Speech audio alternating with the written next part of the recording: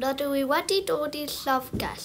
Cofiwch blwyddyn tri, dod i'r llyfgell yn aml. Mae yna digon lle cyfforddus i darllen a canwydd o llyfrau. Cofiwch blwyddyn tri, mae darllen yn dda i'r menydd a helpu siarad Cymraeg a ysgrifennu Cymraeg.